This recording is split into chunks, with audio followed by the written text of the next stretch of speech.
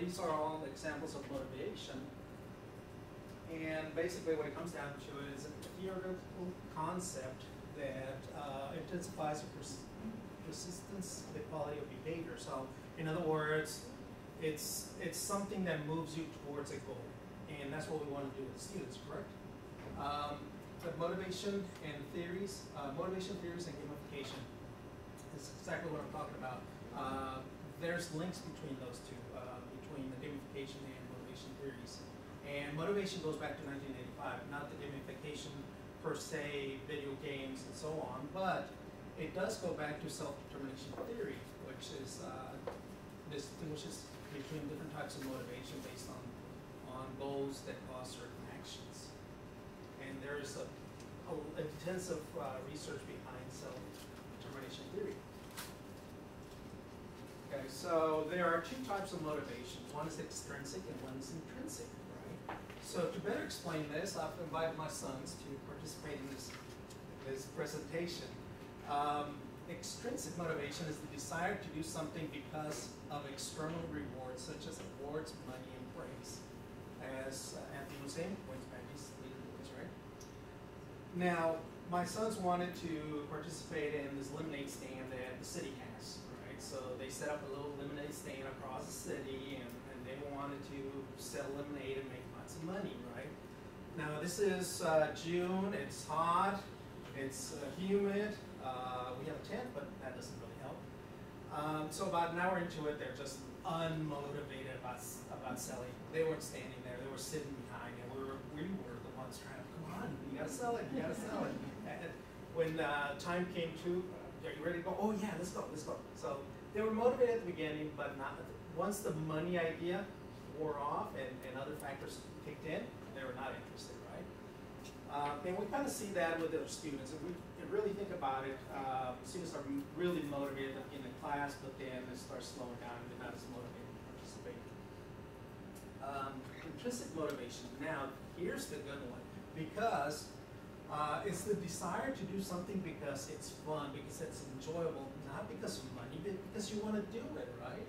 Um, we're remodeling our house, and just last weekend I started because we're replacing the floor and I want to save some money, right? So I'm going to take it off, but somebody else is going to put it on, right? Taking it off is easy, sure. No. Uh, so I take I take one little tile off to see what's under it, and here they are. Two sons are, my two kids are there, and then I, what is that? What are you doing? Well, I'm going to take it. Oh, you want to do it? So they go and get the hammer. They wouldn't. They would not put down the hammer. They would not let me work on it. All they wanted me to do is pick up the stuff, right? really but they're over there, and, and that was the first time they got calluses on their hands, and it was really neat. And the next day they're asking again, can we can we tear it up? And the next day again, right? We still haven't finished because I'm here. yeah, but we're gonna finish. Uh, can we? Uh, and before I left, can, can we can we completely can we take this off Sunday? I said, yeah, sure. Now, the motivation wasn't money. I never talked about money, okay? And they never asked but it's for assimilation. They want to be like us, right? Remodeling. They want they, they want to learn. They want to learn how to do this. So that's the kind of engagement motivation that you want to bring to your classroom. How can we motivate these students to, to come in? And that's what gamification can do. Not just give them rewards and badges, which is extrinsic, but make them part, make them want to learn, make them want to assimilate. And that's the key. Now, I'm not saying that one is better than the other one. You actually need both. And you need both because there's this, this theory, this flow theory from uh, uh, Mr. C. I'm just going to say Mr. C because. uh, so which one do you pick, right? Well, you, you, you got to use both of them. Um, you, you have to look at the theory, right? You, you want to start here with class, onboarding, you want to build the habit, you want to build mastery, but you don't want to make it make the course so hard that you fall into the uh, frustration, anxiety, or you don't want to go down too low because it'll fall into right? And there's a whole theory about it. And this presentation is really not about this theory. You can go on and on about this. I'm just trying to show you that you use both extrinsic and intrinsic motivators to gamify a course. So you give badges, you give leaderboards, you get them involved, but you also want to get them to want to be doing this, to want to be learning. Okay, so there's a lot of research in motivation, as I mentioned earlier. Uh, but there's a lot less in gamification. Um, the bulk of it was done in, in uh, 2007 plus to, to the present. And there's some really good journals right now that just articles and journals that just came out uh, 2016 January uh, that are really good. So it's it's prime time for this topic, um, but there's a lot of research lacking. For example, um, there's I couldn't find. I looked at all, and, and this is why we did this. I'm working on a meta-analysis with another professor, and we're looking at all the top journals in education and looking all of, and, and put together a meta-analysis. So there's nothing so far that we found that talks about retention.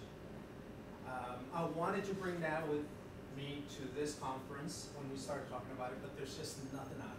And, and but that's good because there's an opportunity to find out, to research in that area, to look at gamification and retention. Um, we did find that we have found a lot of articles, journals, top journals that talk about gamification and how it helps learning, and then there's a lot of articles that, that say it hurts learning. So there's still a lot of opportunity for research in this area. For example, there's there's some some studies that we ran into that are meta-analysis.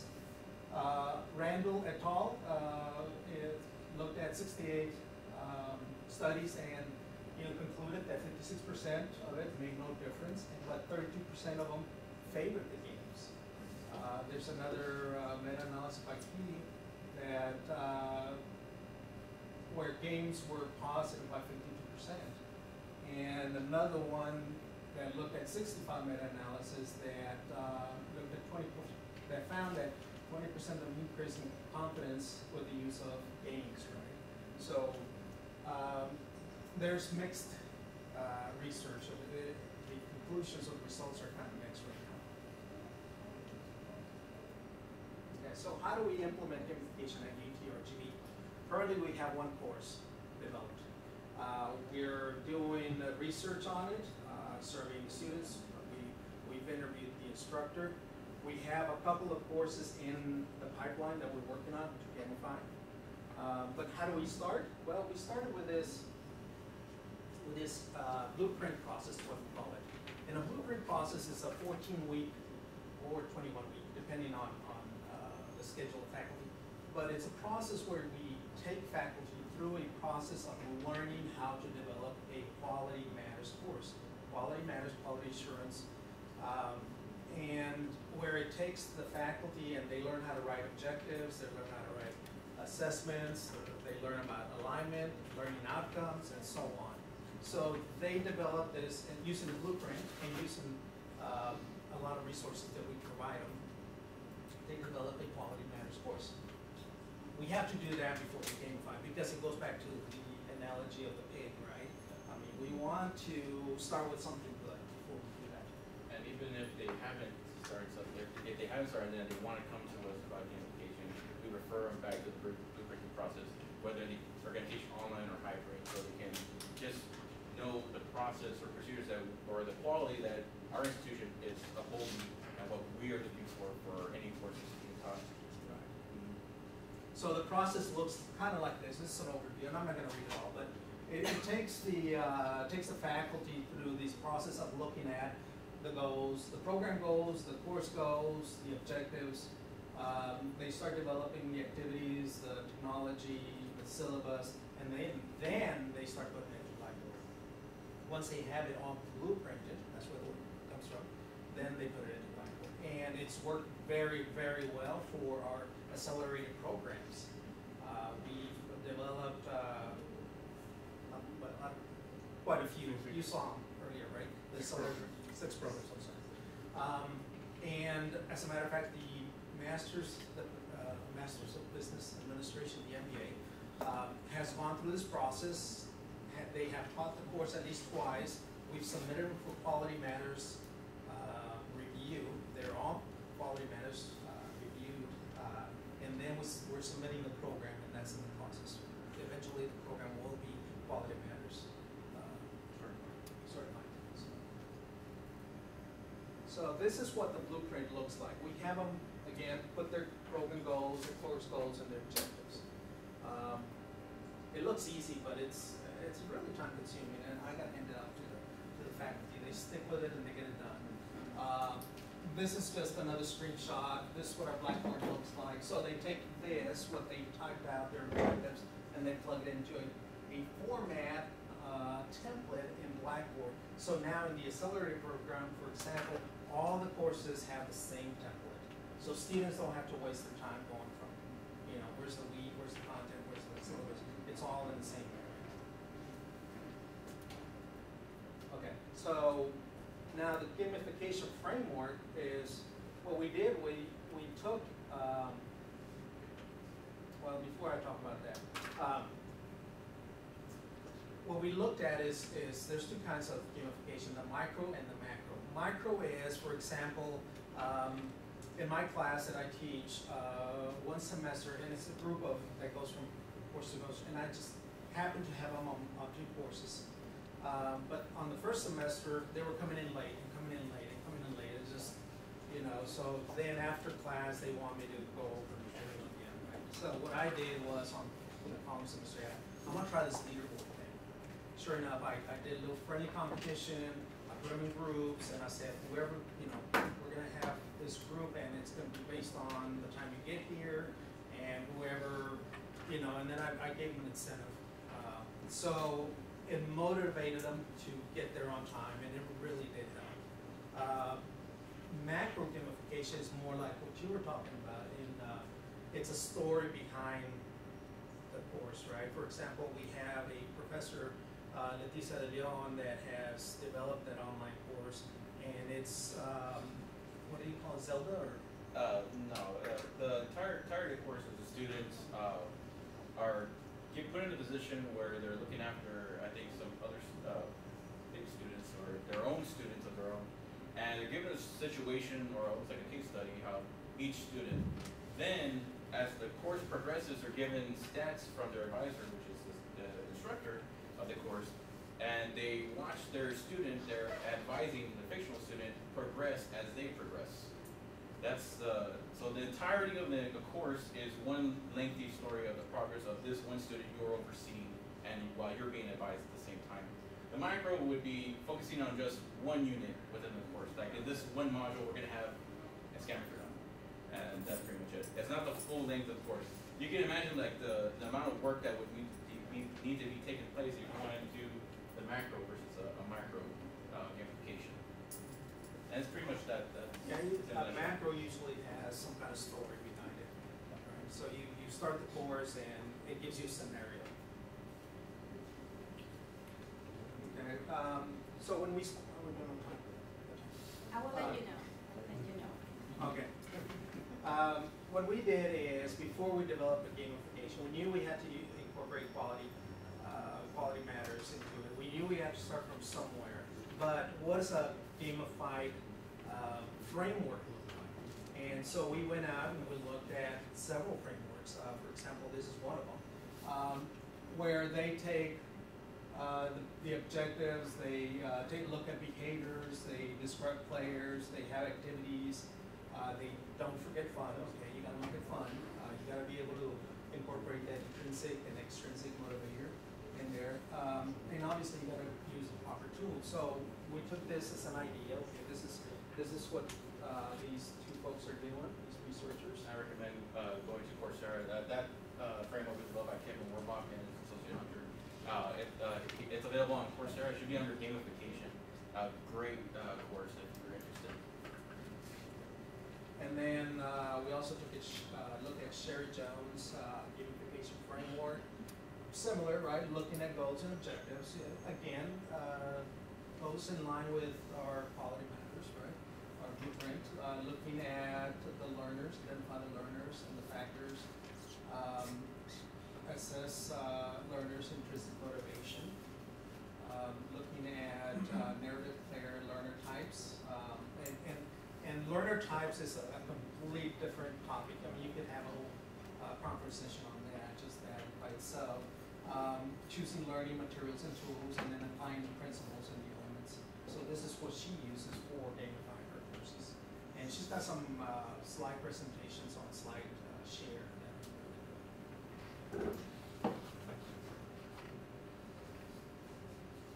so this is what we started with. You wanna talk about it? Uh, yeah, I can cover it real quick. Um, we had an instructor come to us, uh, once we were, we felt comfortable discussing gamification to a point, and she was on board. She was ready to go. I want to design something. Uh, the course was, uh, regarding, uh, the students would be coaches, and she wanted to prep them when they go out into the world and become coaches themselves.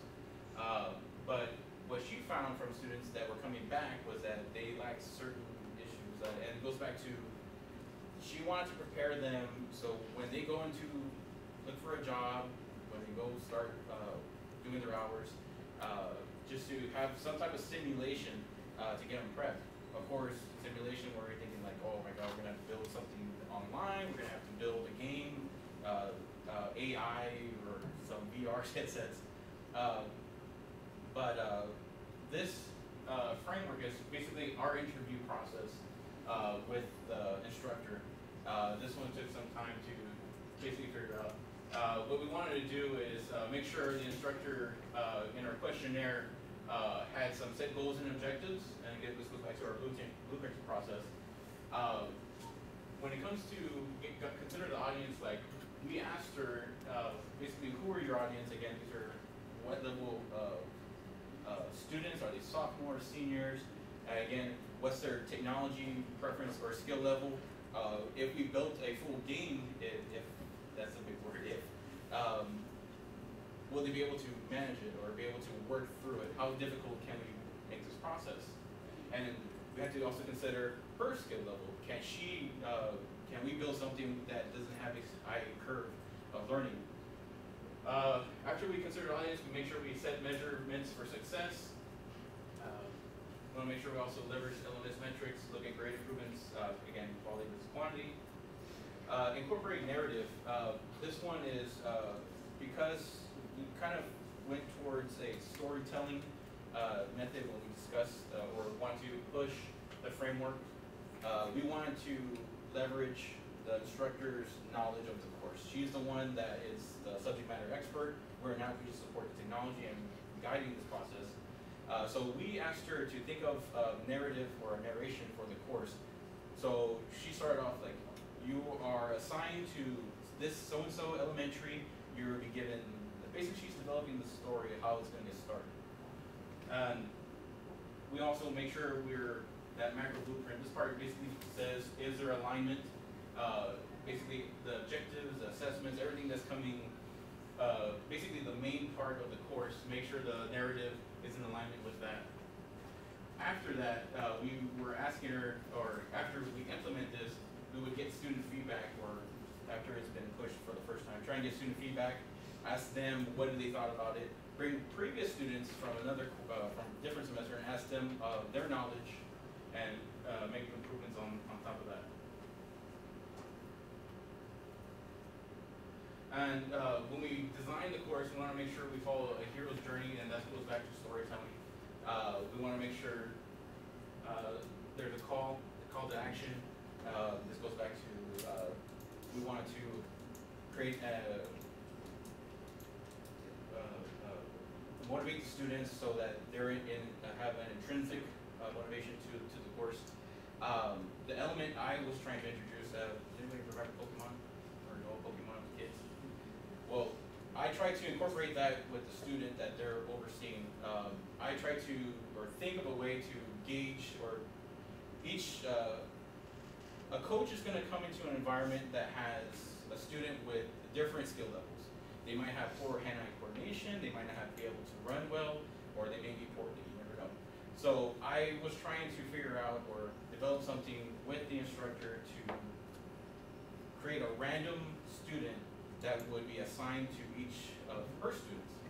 The goal was every assignment throughout the course, or in this case, it was a chunk of six modules. Every assignment would be given a rubric. Their performance in these assignments and rubrics would then give plus points to their students. So their achievement is their, basically their coaching achievement in the, in the assignments